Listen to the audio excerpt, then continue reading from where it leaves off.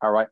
Hello, everybody. I know you know Jeffrey Olson. We already had one interview, but we had technical difficulties. And Jeffrey has done so well in so many areas that I, I invited him back so that we can get into those areas. How you doing tonight, Jeffrey? I'm doing good, bro. Uh, You're looking good. You know, blessed, man. I, I, I feel good. You know what I mean? Not only do I look good, but I feel good. okay. Well, you know I have to ask. Hit it. Hit us with some of those spoken words. I know you keep some on your mind. So, we're gonna do the uh, uh, my definition of a man. All right, it's one of my favorite pieces, man, that I wrote, uh, and uh, this is probably one of the first ones you heard when we were in prison, if I'm not mistaken. It goes, um, my definition of a man can vary, but that's because I've had so many different points of view.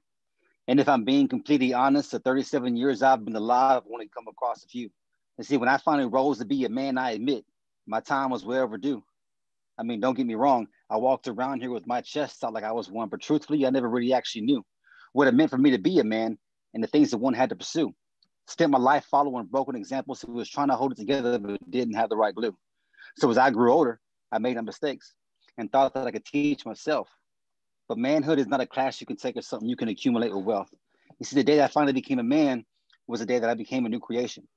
And the man that I am now wasn't taught through education, but formed through a revelation. This elevation I've experienced increases more with prayer and meditation, which brings a sensation far greater than any high or medication. You see, my dedication to succeed, that's a drive that comes from deep within. A drive that ignites this Holy Ghost fire from the spirit that I've been given. You see, I wrote these words for the men whose past was a lot like mine, the ones who hustled full time, chasing that money, but in the end couldn't keep a single dime. And when I chose to leave it behind, it was because it started to dictate my future. And I know what a lot of you guys are thinking right now, because believe me, my feelings are mutual. But my usual team wasn't working, probably a lot like most of you. But life is a series of choices that we all have to go through. well, I, I just drew a blank. I'm sorry, brother. You're all right. Pick up, pick up from there, and I got you.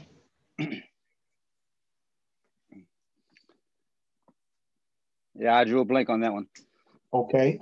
Do you need to start over? Where to go? Yeah, let me start over, man. Hold on. You cool. You sorry, cool. my girl. Sorry, my my girl's in the process of making the bed and everything, and it kind of like threw me off. okay, let, let, me. While you moving, Heavenly Father, please bless this interview. I thank you for my brother's time and mine. Help us to help some fathers. Help us to help some men. In Jesus' name, Amen. Amen. So we might, since I'm, since for some reason I'm drawing on a blank like that, we'll start over. okay. All right. Um, we'll start with the uh, "My God is real." I'll give you that one. Okay. Did you do that last time? Yes. Oh yeah, they already heard that one. Yeah. Okay, we're gonna. All right, let me do this one. Uh, love letter. All right. I uh, hey, it's me. You see, it's just about twelve o'clock. You see, I was laying in bed thinking about you, so I thought that we should talk. You see, I constantly get these feelings Feelings is tough to describe. And no, it's not from my lack of effort either, because I tried everything that I have inside. you see, you've never turned your back on me, and you also helped me swallow my pride. I also cherish those nights whenever it was just you and I, those times whenever we both laughed and cried. You see, I lied when I said I didn't need you and denied the signs you sent too. And yet, when I got down to my lowest point, it was only you that came here and brought me through my chaos, my confusion, my pain, my deceit. You became all I had to depend on my strength when I was weak. And as I write these words in ink, which are inspired by the ones you speak, words like the ones you spoke the day you swept me off my feet. I did what you asked me though. See, I finally learned to take things slow and tell other people about the love that you have for me, even to the ones that I don't know. And I know I may not let it show, but my love for you burns with a passion. So I make it a point to put my love into action with every single shape, form, or fashion. And I know this goes without asking, but I need you to hold my hand and help me understand the things in life that are too hard for me to comprehend. Things like how to be a man and where I should draw my line in the sand and how to read the blueprints you drew up so I can do it the way that you plan. You see, I'm not trying to demand these things, Father. It's just simply a request. You said not to lean on my own understandings, and besides, you know me best. You told me that salvation shall be mine, but then, Father, I'm yours to keep. And whether or not I wake or sleep, it's your kingdom that I will seek. You see, I know that I'm unique, but my troubles are pretty much the same. as the next man that I struggle with, so I want to come to you now in Jesus' name and ask that you bring me peace. I want to ask that you bring me laughter and give me the ability to deal with the pain that comes from here on after. I want to thank you for who you are and taking care of my sin and giving me another chance to become a better man again. Amen. Amen. When I when I when I when I wrote that one, I had been writing spoken word, the spoken word, the spoken word, and it was always about what I was going through. And I wanted to write one as an appreciation to God, you know, and um, pretty much just speak to him with on my mind, like like, like an intimacy thing, you know. so did an excellent job. So you've been home a little bit over a year and a half now. And what yes. I find really admirable is that off of our other interview, you just spoke a little bit about your relationship with your children. Can you tell me what your relationship before incarceration was with your children and now what it is as of today? Okay, well, before I was incarcerated, I, man, I was not about the family life. I was about street life. And I put my kids third at times for a lot of things. And what it did was it, it, it created a lot of distance and a lot of hurt. And it was, you know, so much the fact hurt with me, but I didn't realize the hurt that I was causing both of my kids. Uh, and the letdown and the the disappointment, you know, stuff like that. And the relationship that that they see, the way they, the way they looked at me was they had pity for me. Uh, they felt sorry for me. Um, there was times whenever they would just tell people, "Man, I just wish she would grow up," especially my daughter. You know, and for for your kid to wish that their parent would grow up is alone uh, that by itself is a is uh, is heartbreaking, you know. Um, so I knew that when I was incarcerated, I had time to, you know, we all know I got my life turned over to Christ, you know, and read self help books, you know, took classes and this and that. But the main thing that I did was pray. You know, um, there wasn't a day that went by that I did not pray and ask God for me to have the opportunity to have my kids back in my life. And even though I couldn't hear him at times, I felt it that, you know, it says, you know, the one ministry that he gives all of us is a ministry of reconciliation. That's right. You know, and so I, I, I remembered that I, I buried that in my heart and I knew that on his time that it would happen, you know, I don't deserve it. I didn't deserve it. You know, if, if my kids were to never speak to me again, I would have understood that because the way I did them. So over over time and gradually, man, while I was in prison, me and my daughter's relationship was mending. She didn't trust me yet, which, you know, by all means, I, I don't blame her. You know, uh, for the longest, I talked a good game, make you believe whatever whatever I wanted you to believe and get whatever I wanted out of you, you know. And my daughter was hip to that. She knew her. She knew what her dad was like. My son, not so much. He was too young. Um, after I got out, it just seemed like it was more along the lines of me not telling them what I was going to do and how it was going to go. I had to show them. And that's what it takes to mend any relationship. You got to put more action instead of the words you say. Uh, and it probably took a period of four months of me being out for them to actually see my walk. And it's not just them it was their moms. You know, their moms had to make sure that I was I was doing what I said I was going to do. I was going to walk the way I said I was going to walk. and with that, God was able to soften their hearts, you know. But my prayers never stopped when I was out of prison. I stayed praying. I stayed praying for reconciliation. I stayed praying for for guidance. You know, people say that that you know you pray and pray and pray, but you never see results. Well, that's that's not right. That's not that's absolutely wrong because okay, results came for me, the results came not overnight. They didn't come two or week, three weeks later. They came over a period of four or five months. The things that I was praying for, I started seeing come into action. You know, um, everything's a process. So now, after a year and a half, man, uh, my kids are they're they're a constant in my life. Um, my daughter is always at over here at my house, man. She's, I mean, like she's here right now, as a matter of fact, and um, she she needs her dad time, you know. Uh, my son, man, he is he's ten now, and reminds you, I've, I hardly ever was able to be in his life because I'd been back and forth in jail his whole life. Um, our relationship is solid, man. We're good. Me and his mom's relationship is solid. It's like we're best friends. You know, we we we don't argue. They they come to me for advice and guidance. Um, and I, it's hard to explain, bro. If if I could explain it, it wouldn't be a God thing. Okay. Um, but the relationship okay. that he's made with my kids are amazing.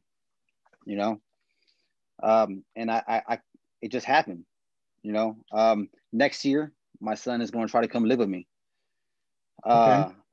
So that's another that's another big step right there. You know, uh, and his mom, get this, his mom was okay with it.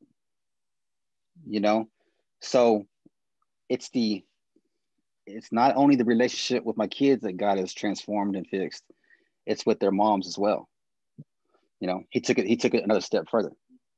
You know what I mean? What I heard when you were speaking, living what you're saying, and prayer before, during, and even after. So I, I appreciate you sharing that. And your success, bro. And I define a success as the things that you know that you are responsible to take care of. You're not only taking care of them, but you're sharing with others little tidbits how they might be a success also. So, on that note, COVID right. has affected the job market, but you, in spite of your past, you have held down a job for over a year and a half. What are some keys to you being able to be employed during, if not the hardest, one of the hardest times in American history to hold down a job? Uh, well, um, I guess I didn't I didn't have I I wasn't I didn't allow another option to do it. Um yeah, I was blessed enough to be able to have a job to where it was still working through the COVID. Um, and, and that was a lot of help. But um, see, I've had three jobs since I've been out of prison. My first job, I wasn't getting paid that much, you know, but I needed a job. We call it a stepping stone. It was a survival job it got me rooted and got me to where I needed to be. Um, when it was time for me to make another step forward, I was able to get another job the same day with higher pay, um, which was a blessing. So that was good for a while. Um, and you know, there's man, you just gotta have the motivation. I mean, if you're not motivated to get up in the morning and go make money, or or or get yourself right, then you're not ever going to have that motivation. And I just had the motivation. I, I wasn't going to allow myself to fall behind. You know, it's so easy for us to fall behind. Plus, I mean, parole, you got parole always on you. You've got, I mean, you've got things that's going to, that's to keep on putting that fire underneath you and say, Hey, you, you got to do this. You got to stay focused, you know? Plus I had brothers and mentors that helped me stay focused and stay on that right path, you know, that is key too. You have to have men of like mind that's going to help you and push you and push you and push you. Um, so with that being said, after that job for a little bit, uh, I was able to move back to Waco, uh, from Houston to Waco, because now I was able to have my kids back into my life. So this was so this was a period of seven months. After seven months of being out of prison, I was finally moving back so my kids would be back in my life. So in the process of doing that, since I've been in Waco, God opened the door for me. now I have a job, man, uh, that is benefits, um, paying me great pay, you know. And no, it's let me say it's not always about pay, but to survive, that pay is good, and a lot of us men are looking for that to be able to, to provide for the family. So I'm making over twenty dollars an hour, and it's a job that helps me get to where I need to be. Child support's paid, you know, and these are like I said, it's doors that we're opening, and it's just it's just motivation, hard work. You know, I know that sounds cliche, but that's what it takes. You know what I mean? Um, if if if you don't have your mindset on it, then you're not going to get it. You just got to have that. You got to have your mindset. You know, I, I wasn't going to allow myself to fall behind, and I wasn't going to let them stand in the way of it. But again, again, I don't do it by myself. I don't do it without prayer. I don't do it without getting focused in the morning and getting to some devotions, getting into my word. Uh, hopefully, I can have time to do that. Make prayer. If I'm, if I'm on the way to work and I'm in a rush, I'm praying on the way to work. I don't do it without God, man. It's only by God's grace that I'm where I'm at today. And with that, I, I have a sense of peace and a sense of strength, man, that, that helps me look at the positive. You know, I don't fall into the negativity. Everywhere you go, there's going to be negatives, but there's a lot of positives in everything. And that's something else too that I look forward to. So, right now in your life, personally, because I'm seeing the fruit of God work in your life. What is God doing personally in you right now? Well, uh, we we are. I say we because I have a team of people with me. Uh, I'm, I'm I'm kicking off a ministry now. It's called um, uh, Renovated Ministries, and you know, renewed minds, renewed lives, renewed spirits. Uh, renovated is another word for renewed, you know? So God gave me that vision. And here lately, man, we've been going to the streets. Uh, we have so far had two events uh, where we're feeding the homeless, going down there, we're barbecuing with them. Uh, we're giving them clothes, blankets, shoes, scarves, hats, um, whatever, whatever is, is, is, able at that time of our leisure to give to them, we're giving to them. Uh, the first event, we had 20 people that were homeless show up. I only expected five, Sean. The second time, I only expected 20. Sean, we had 50 plus people show up. Um, everyone got fed, everyone got clothed, uh, and, and everyone got a sense of fellowship, rejuvenated. This time, we're going uh, on the 24th. Uh, we're going back to them, going to cook some more, barbecue with some more, fellowship some more, and this time we're handing out hygiene packs. Um, God is moving so much in my life right now, man, that sometimes I, I, I steal, even though I know he can move mountains. If, if called for, he can give me the ability to walk completely through them. But still, when I see the things that God has moved for me and has allowed for me, man, I, I sit back and I'm like, man, this is crazy. You know, it blows my mind. You know, um, I didn't think I didn't I, I I didn't think that I would be doing things that I'm doing now. I knew I had the desires to do it, but I didn't think I'd be able to have it have it actually take place. And God has made that available for me. And it's it's brought so much joy in my life right now, Sean. I can't even I can't describe it, man. I'm so I'm content and happy right now, bro. I can see it on your face, and that that's a blessing. I'm hearing it, but just seeing it on your face. If you had to look back and say there was one thing that you took away from being incarcerated that is a positive in your life, what would that be?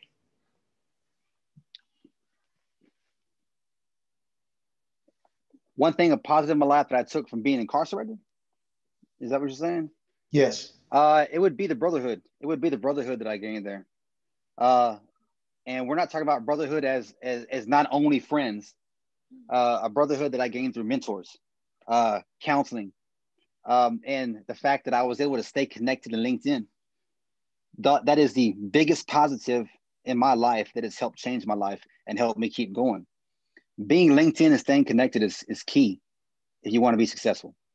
Isolation is dangerous. Don't ever get out there and try to do it by yourself. You need help. Uh, any man just coming out of prison, whether you've been locked up three years, five years, or 20, you need help. You know, you know, sometimes you got to put that pride aside, that humble, and, and get rid of that mentality where oh, I'm gonna, I'm gonna go out here and get it on my own.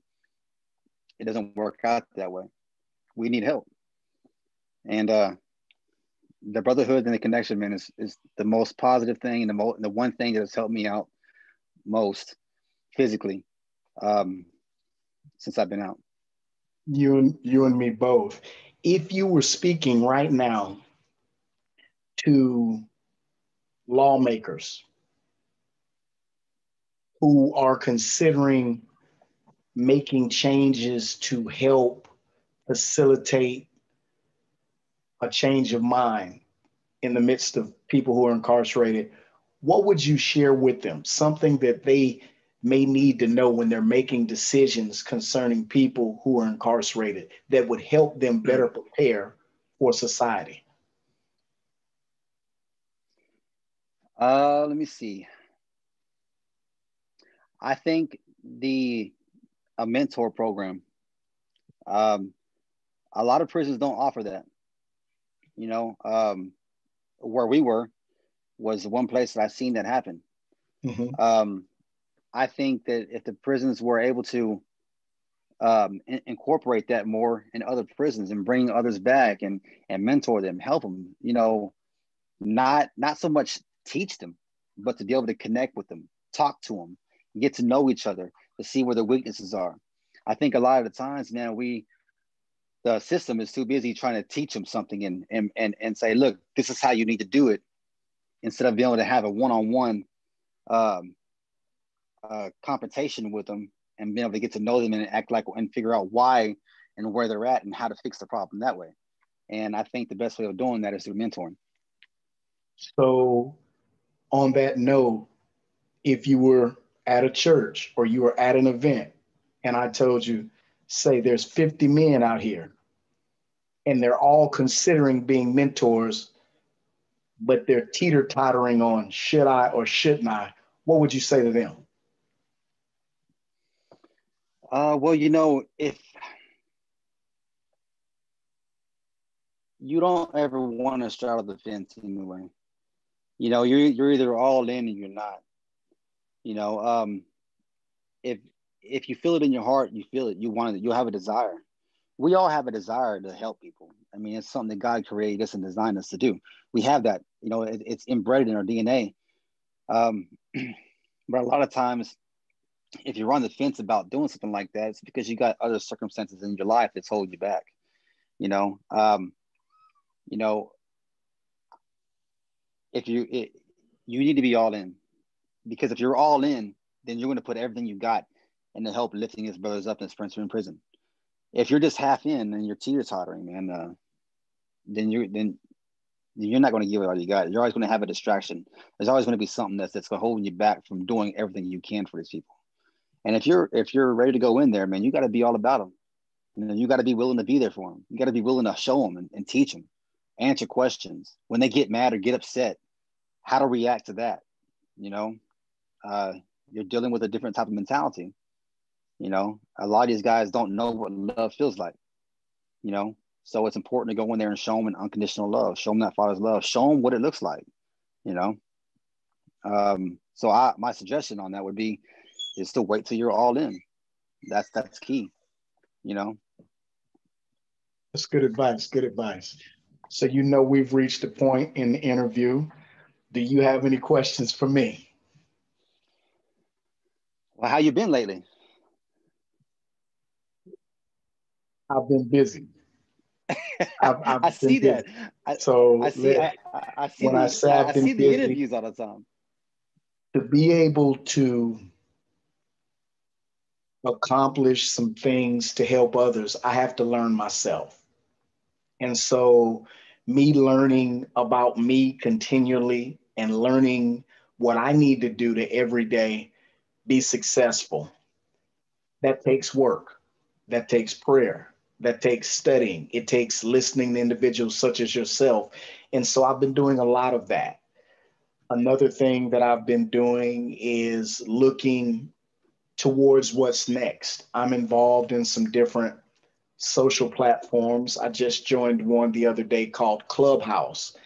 And my sole reason for joining these different social platforms is to share, to help someone, but at the same time, be able to learn about it through involvement so that I can pass that on to some other men to where some people are like, hey, this is my niche. This is what I want to do. This is what I'm trying to accomplish. I can be able to tell them from experience, hey, look, well, this is a good platform for you to do that on. And finally, I have just been enjoying the fact that I had a good Christmas and a good happy new year with family here in Austin.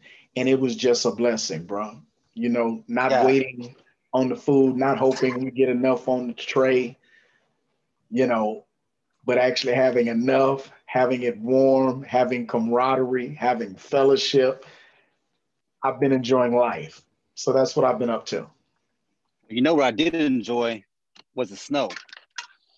Uh, the snow here surprised. Uh, you know, I, I, knew I knew it was going to snow, but I had no idea it was going to snow the way it snowed here. I think here in Waco, brother, we had eight inches. Uh, I I know we had over four. inches. I think it was about six inches. Okay. Uh, okay. Snow. That's um, I I came home from church, and it hadn't started, and all of a sudden it started, and I was like, "Say, I have got to go." Facebook Live for this. I said, I've yeah. got flakes flying everywhere because a lot of people in Texas, honestly, never experienced snow. And so I went out there real quick, and you know, I'm talking about what's coming up in 2021, but then I made a snowball because the reason I did that one time I took a friend to Iowa and we come out of a little restaurant. I started hitting him with snowballs. And when I started hitting him, he was just standing there looking at me. And I said, Man, what's wrong with you, man? And then he figured it out. And then when we got in the car, I said, What was wrong? He said, Man, I've never been in snow. He said, so when you were doing that, I was just like, what am I supposed to do? And then I, I realized it. And so I had that thought in my mind. And That's why I made a snowball. And I said, you just make a snowball and you hit somebody. And for those who don't know, you need that fresh snow that sticks together. You can't let it sit. You got to let that fresh snow and you, you know, you get it. And one guy, uh, uh, he asked, well, he stated on Facebook, he said, well, what's the use of making a snowball and there's nobody to hit? And I said, well, for me, just the memories, because I hit plenty of people with snowballs. So my memories were having fun. yeah, yeah, absolutely, man. It was it was a blast, man, and it was a blessing to be able to see, you know. Uh, so, I I I wanted to uh to tell you, man, that I see I see your work, bro. I I I see the joy in your life as well. Um, and you know, I I've, I've known you now for uh, going on two years, probably. You know, uh, you know, inside, and I've also had the privilege now to know you out here, bro. And um, you're one of the the few brothers that I know that was the same inside as he is out. You know, and you and you're focused, and uh, I, I admire that, bro. I love that. You know, and um, you know, there's a there's a there was a a question that was raised up one time that said, it's easy to be a Christian while you're inside the walls. How do you be a Christian when you're outside the walls? And my answer to that is to, uh, you know, in time of peace, be prepared for war. So, you know, when you were in the, when we're in there, there's no distractions nothing's coming at you. So that's our time of peace. That's when we that's when we get into the word. That's when you learn, you you are taught, you you figure out this walk and you get ready for going when you when you go to war. Because when you're outside these walls, when you're outside the walls in the world, man, every single bit of temptation is going to come at you. Um so my you know my advice to that question is, is to always you know whenever you don't have the distractions when you're in there get ready for it pray read your word figure out what your weaknesses are, analyze yourself. You know, and I know that's something that you did. You know, uh, that's something that I did as well. You know, and uh, I just want to, I just want to tell you, bro, I'm proud of you, man. You, you did great, bro. You're doing great, man. I appreciate. And, uh, I know God's going to open a lot more doors for you, bro. Thank you. I, I really appreciate that. I, that's why I constantly dudes that I know they'll be like, "Man, I know what, man, what's what's what's really good." And I said relationships, and they're expecting me to say this and say that, and I said relationships, bro. I said, look, jobs come and go. Relationships, they continue even on into heaven. Right. And so I'm appreciating the relationship. So when you say that, I take words like that and I just tuck it down. And then when days are hard, or you know, like it's snowing and you might not want to go to work or something like that, I just pull up a comment that encourages me and just, okay, got to get it. I tell the youth that I work with all the time, I said, don't get caught up in everyday work. Do the work but have a goal beyond the work. I said, if we do a good job here, that leaves a place for the people behind us. And so that's why I don't get bored. That's why I'm not not motivated because I'm not just thinking about the job. I'm thinking about people after me. I'm thinking about the people that we're working around. And when you begin to allow your mind to operate like that, you don't get bored. And when you get frustrated, you come back to a focus and you finish strong. So I appreciate that encouragement. I thank you for your time tonight. I'm glad we didn't have uh, any technical difficulties like last time. And yeah, yeah. Do what you do, man, and I'm gonna keep you up in prayer. All right. All right, brother, man. It was good talking to you, bro. All right. God bless. You too.